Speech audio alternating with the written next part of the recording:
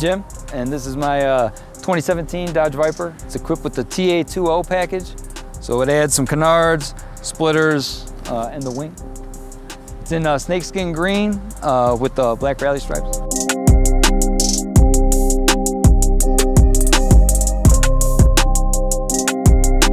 So I've been a huge fan since 92 when they first came out with the first gens.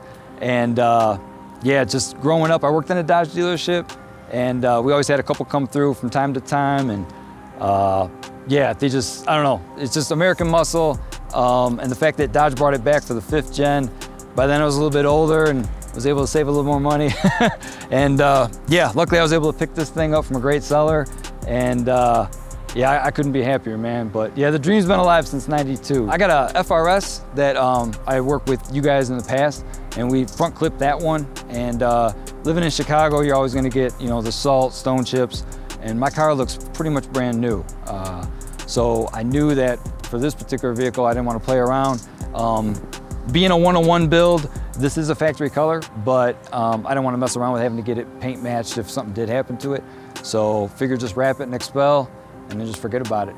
So um, back in 15, when I, like I said, I had the FRS wrapped, um, I knew that any other vehicle I get, uh, especially if it was gonna be something like this, was definitely coming back to you guys. So uh, with that being said, um, Jimmy took my call right away. Um, we had actually been talking for about a year. Um, that's how long I kind of been looking. And I was just getting to feel them out, like, hey man, if I get this Viper, what are we looking at for a front clip? And you know, just prices and stuff like that. And uh, he always responded. Just through all my dream builds, he, he always got back to me.